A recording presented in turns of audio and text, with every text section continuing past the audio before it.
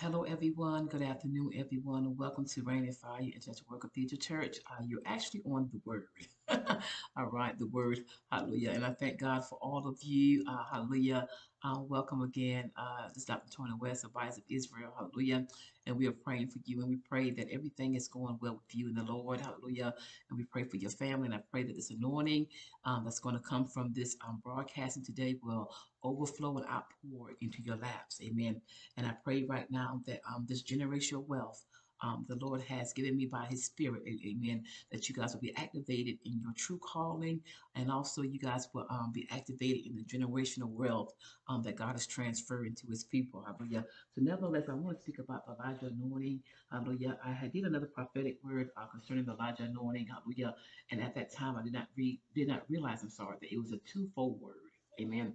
And so, nevertheless, um, the Elijah anointing, um, God is showing me that um, there will be the mantles that, that, will be falling on some of you to do kingdom work, uh, to do mighty kingdom work. Uh, hallelujah. Um, um, uh, that's going to bring I'm sorry, it's going to bring um, multiplication, um, increase, and also creative miracles. Amen.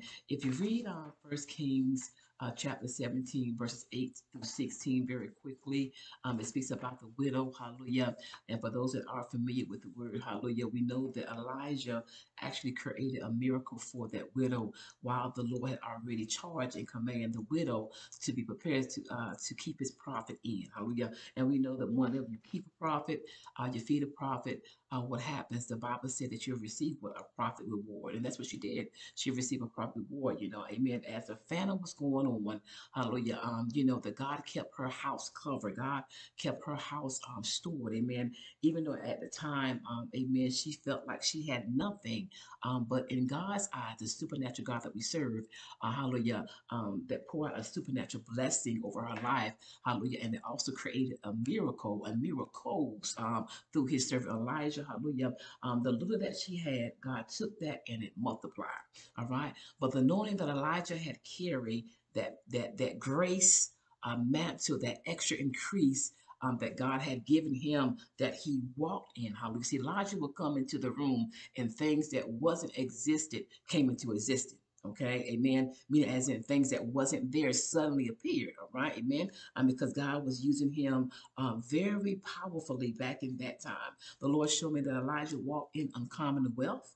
All right, Elijah had uncommon favor. Hallelujah. And also, Elijah created uncommon miracles, uncommon, I'm sorry, uncommon healings, and also Elijah could speak the word out and the dead would arise. Amen. And so the anointing that Elijah carried, um, it, it, it, it brought things that were dead back to life. Amen. And that's what God is trying to do for you hallelujah, in this uh, season and also in this time. Amen. Uh, one thing stood out to me the most about uh, uh Elijah and Jesus Christ uh, hallelujah, is that, that the Father keeps the same pattern. Amen. If you read the word, you'll know what it says. Hallelujah. You can see the same pattern lead up to the Lord. Amen. On the Christ. Amen. And so, nevertheless, so uh, what got me the most was uh, when the widow had asked Elijah to bring him a small cup of water to drink. Amen. And then it took my mind back to John chapter 4. Hallelujah. From the time that um that um, Jesus, Yeshua, uh, Mashiach, hallelujah, um, that he asked the Samaritan woman to give him a drink of water. Why? Because, you know, uh, he had a gift that he wanted to give her. He wanted to give her a life, all right, an eternal life, and a life more abundantly. He said to him, to, to the woman of God, uh, paraphrasing, if you know who was asking for the drink, my God, mm, my God, if you would have asked him, he said, if you know who you was asked or who was asking for the drink, you would have asked him and he would have given you living water. Amen. All right. And so, nevertheless, so then we go back here, hallelujah, back to First Kings and 17. Uh, Elijah kind of said the same thing before um, the Lord was here in the flesh. Amen. He asked for a cup of water, and the woman of God gave him a cup of water, and she received what the prophet reward. Same time with with uh, Jesus, hallelujah. He asked the woman, uh, the Samaritan woman, to give him a, a drink, which was, was a cup of water per se, amen. And then what happened? She was blessed abundantly. Amen. Hallelujah. Because the Bible says, you know, amen, uh, you know, anyone who drinks from him will never thirst again. I have said before that, uh, amen, that because that we're drinking from the fountain of the Lord. We are drinking from the fountain of Christ. Hallelujah. I'm telling you, that's why you are surviving through this famine because God cannot go back on his word. Amen. He said, if you choose to drink from me, if you choose to drink from my water, hallelujah, you will never thirst. That means food will be on your table food being on the, in, the, in the refrigerator. Amen. I mean, you're going to have gas in your car. Hallelujah. You're going to be able to have a job through this critical time that we season. I mean, um, that we see in, in season and out season. Hallelujah. God is going to keep you. I mean, your mind going to be right. You're going to have strength. You're not going to be paralyzed in the spirit, neither by in the natural. God is going to keep you and his children because you decided to drink from that everlasting water. Amen. And so here in our uh, first Kings, we see because the woman had chosen to obey the Lord's command, because right at the second verse, amen, it says, This is a widow. He said, There is a widow, I'm sorry, that I commanded to take care of you. All right. So he already had spoke to the mind of the prophet. Let the mind of the prophet know, hallelujah, uh, that he has someone in position for him. All right. And so nevertheless, because he wanted to bring forth a gift, a blessing Hallelujah. And so because she obeyed God and obeyed the prophet, amen, she received what? The, the prophet reward and much more because, uh, you know, everything was filled.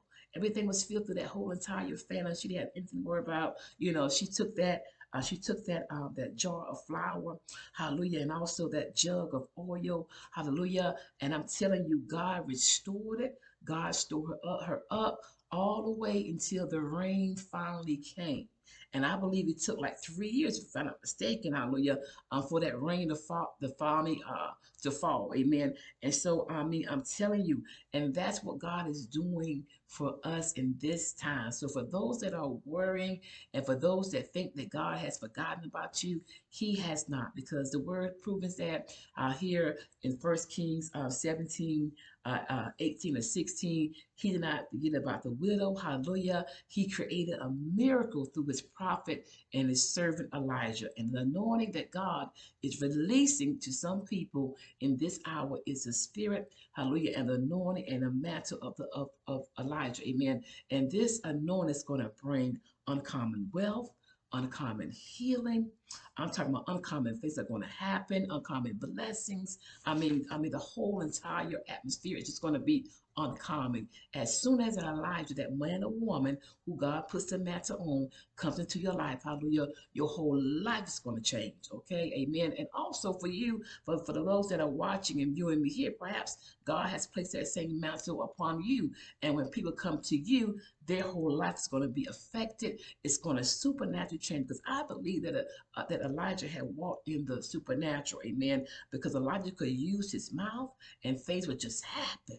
I mean, fire would come down, the rain would stop. Hallelujah. Elijah had raised the dead. Hallelujah. And then Elijah I believe, had uh, had performed eight miracles, which we knew beginnings uh, in the Bible in total. Amen. But the miracles that he worked was so powerful. Um, amen. I'm telling you, God could strategically um, use Elijah for that time. So I'm telling you uh, once again that the, be looking for the uncommon to happen in your life. Amen. I mean, God has already written your story. The finger of God is already upon you. Amen. God has already sent the word to the prophet. Hallelujah. Or either to the people, God, that he has assigned for you. Hallelujah. So you can rest now, the Lord. Some of you guys out there maybe are, are having um restless night, amen, where you can't sleep, you're worrying about finances, you're worrying about the bills, but the Bible said, do not worry about tomorrow. Let tomorrow worry about itself. God has it already worked out. God has already have it written. All right, so stop worrying. Know that God is God and be still until you know that that death angel until that that that uh, that season of tough time, hallelujah, until it passes over. Amen. And so, nevertheless, I pray that this message bless your life. I pray for healing. I pray for restoration. I pray for togetherness. And I pray for you, for those that do not know Jesus Mashiach. Hallelujah. I pray that you will find him and you will establish a relationship with him and you will become saved. In Jesus' mighty great name. Amen. Next time, bye bye. Shalom. Amen.